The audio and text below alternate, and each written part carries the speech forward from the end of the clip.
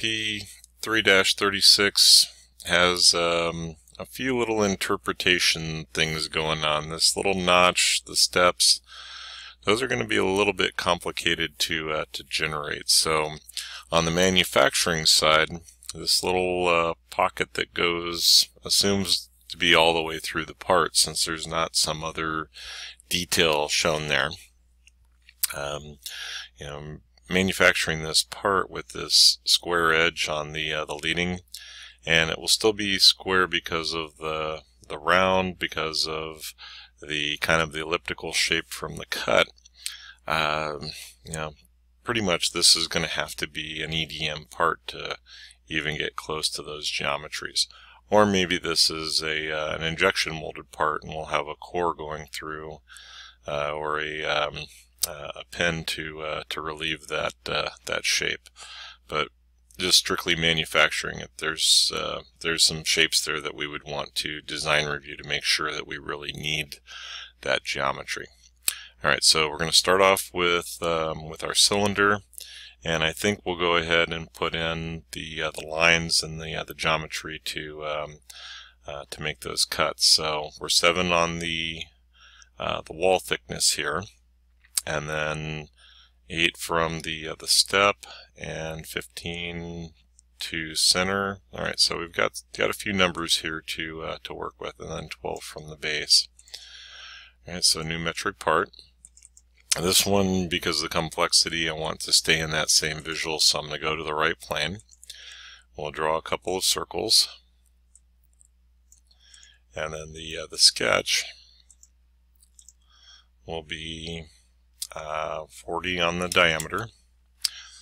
Alright, and I'm going to use the middle scroll wheel to zoom up uh, a little bit. And I want the 7 on the wall thickness, so picking the inside circle and then picking the outside circle gives me that separation. Alright, and then we have a line. And then the only thing I really want to watch out for is that it doesn't um, automatically or assume tangency. So another line for the piece. Alright, so the two two edges, well, we'll see how that stacks up. We have 12 to the base, so I'm looking for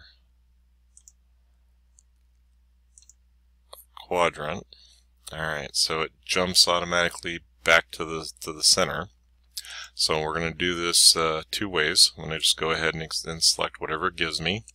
And then under the leaders, because I picked the perimeter, I'm going to have a min and a max condition. As soon as I pick the min condition, it's going to give me access to that geometry. Uh, the other line then was 8 millimeters from that line. Make sure I'm getting my selections. Alright, so that one's right on center line. And because we're at 40, there is a, I'm going to make this a construction line, or a center line, if it'll give it to me. There we go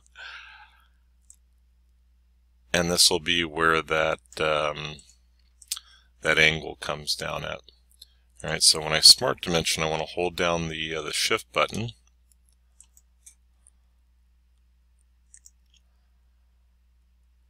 And from the shift, when I pick the center line, it's going to allow me to automatically go to that min condition. So when I place it, we're going to be able to put in the 15 without having to make that additional selection. Alright, so that gives me my geometry. Let's um, let's start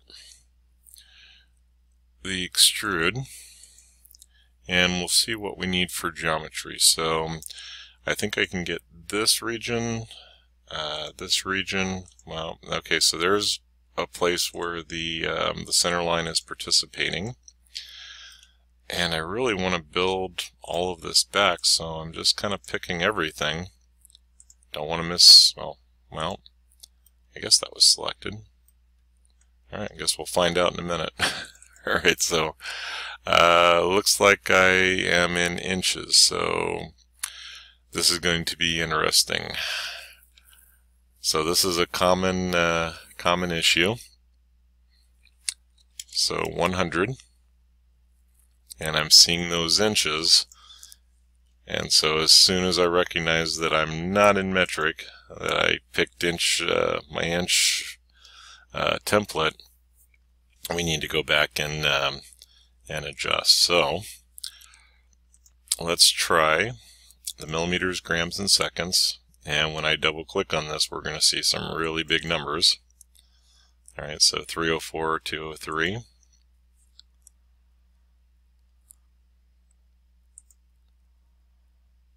and I need to edit the sketch.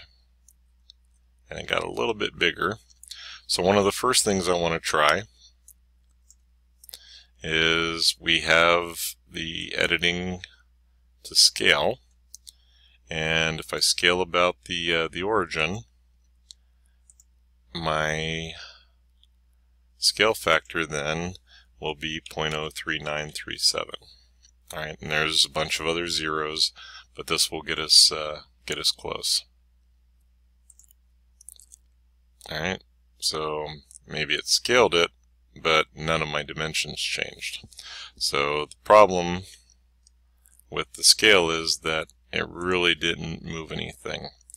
So, that being the case, I want to display delete, um, delete relations, and I need to keep all of my coincidences and everything that is a distance or a diameter.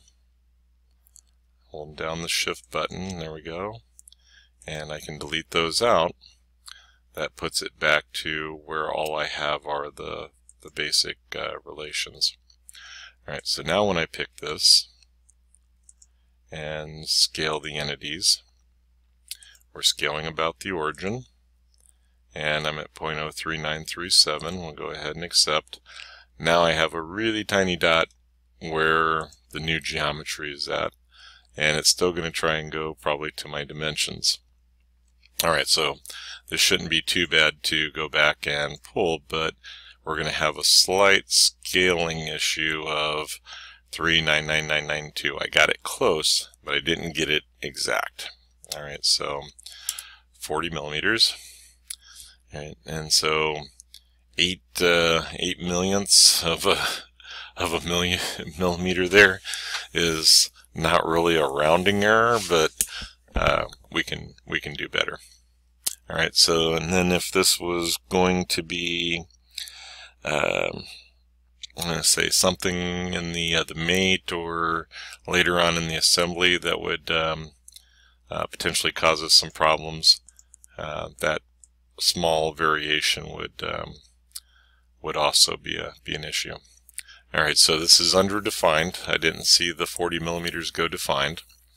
So in the process of scaling or moving, we sometimes lose lose those relations. So I'm just going to drag that center point off and back.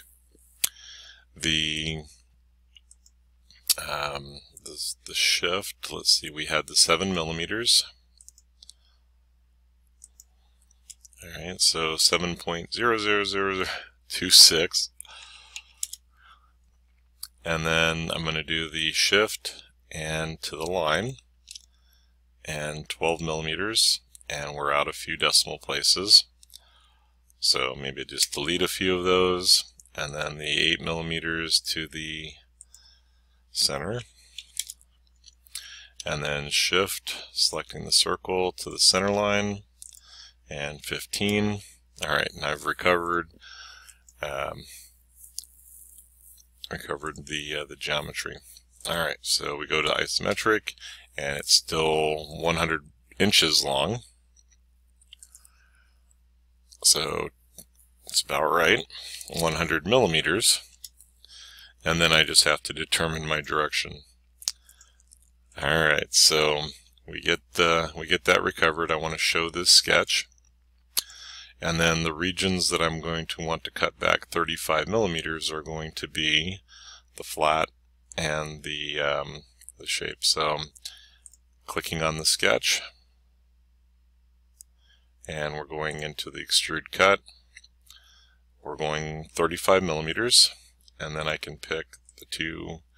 So the center line uh, really didn't isn't really helping me here because I'm having to make those extra selections but we'll go ahead and, uh, and stay with it. Alright, so now you can kind of see the curvature of that face coming down to the flat.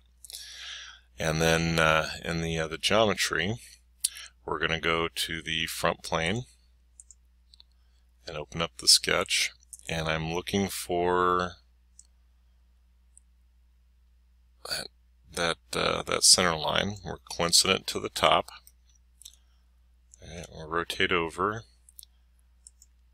and let's see if I can go to the point. So the point is projected in. If I could, if I couldn't get the point, then I would go to the center line.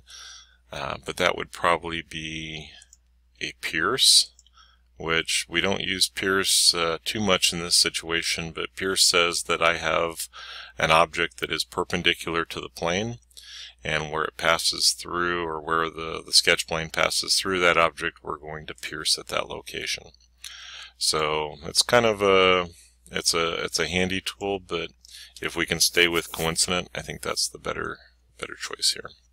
So we'll go back into the the front view, picking my uh, my dimension. We'll go to 40, and then we're into the extrude cut as an open profile through all both and the direction of the cut, the arrow is pointing down, so we'll flip the side to cut and create the, the shape. Alright, so when I come back and hide the sketch, that cleans up the end geometry. We can see that it goes through. And pretty much the issue is these sharp corners and making that cut. If I don't have some kind of pull there or something that's capable of uh, making the sharp corners, this geometry is, is fairly complicated. Alright, so that'll give you the uh, how to correct for the metric if we uh, haven't uh, gone through that uh, lately. And we're ready to save this one and move on to our next project.